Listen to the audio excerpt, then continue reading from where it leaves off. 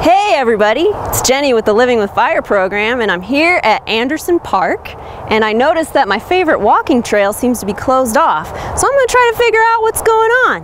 Let's go check it out. So as you can see, the trail here is fenced off and it's very overloaded with brush and you can't really walk on it very enjoyably and it actually looks to me like it is a wildfire hazard.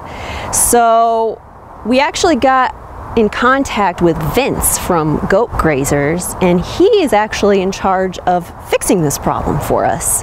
So we're gonna check that out.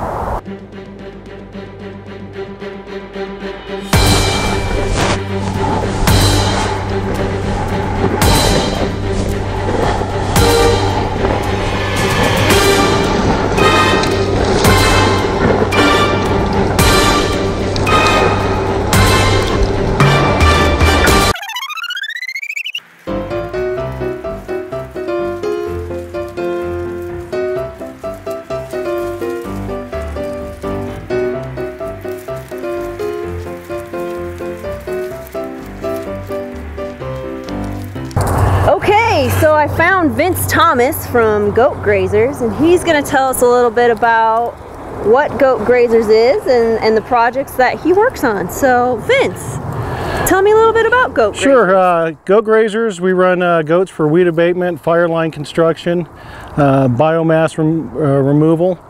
Um, and today we're at uh, Anderson Park, which is part of Washoe County Parks and Recreation. And uh, they got a grant fund through the Nevada Land Trust uh, to come out here and get this trail opened back up. Um, very busy park, a lot of joggers, hikers, walkers um, with their dogs. And so we're getting the weeds knocked down so they have a, a path they can follow again. Wow, that's, that's keep it really safe. cool. So Vince, how long would a project like this take? Uh, we're scheduled on this project for three weeks and uh, we're thinking uh, we may be out of here a little early so but we'll stay until the job's done if it's right. longer than three or or shorter so Okay. And so after it's finished, how long do the results last?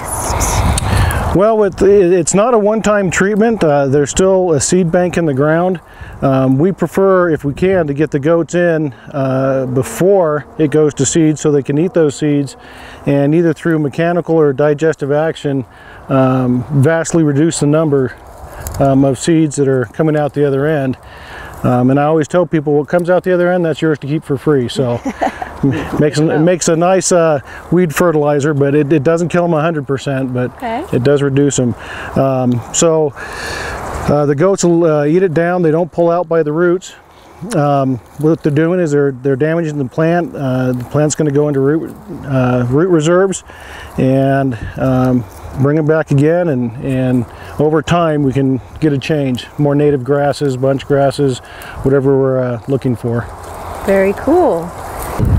Okay, so it sounds like this project is really beneficial for the walkers and the joggers and the people that enjoy the park, but it's also really important because they're reducing the, the wildfire fuels, which is what our viewers care about. Exactly. Yes. Um, they'll eat it down.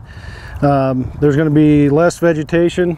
Uh, you know, flammable vegetation. The noxious noxious weeds are going to be gone. Um, you know, a lot of the plants that are that dry out and that are real uh, volatile to fire, the goats come in, eat them, and, and so we reduce the fire risk. Very good, very good. So they pretty much eat anything. Pretty much anything and everything. Okay. Um, they'll even eat your, your rose bushes. So, Oh, so they gotta watch out for careful, that. yes. Now, if somebody wanted to get a hold of you and, and do a project in their community, how would they do that?